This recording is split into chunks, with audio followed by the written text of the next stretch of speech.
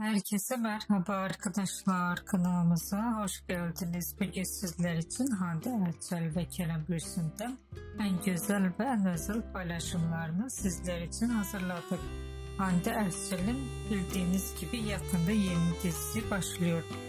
Başrollerde Hande Erçel ve Burak Deniz'in oynadığı dizi daha belli olmadı.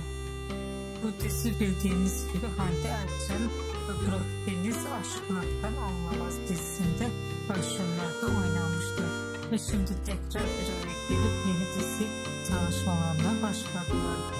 Biz de sizler için Hande Ertuğ ve Kerem Gürsel'in yepyeni karelerini hazırladık. Bu videoların devamı gelmesini istiyorsanız kanalımıza abone olup anında haberdar